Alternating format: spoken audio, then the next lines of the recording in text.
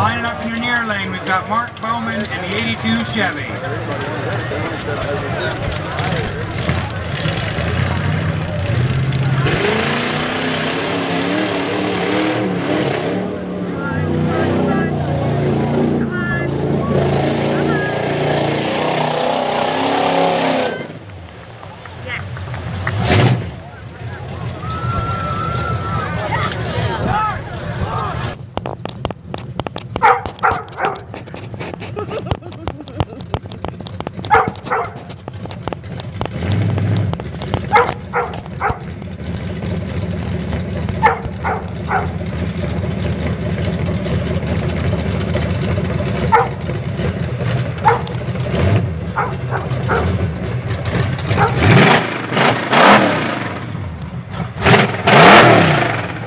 Can't back out.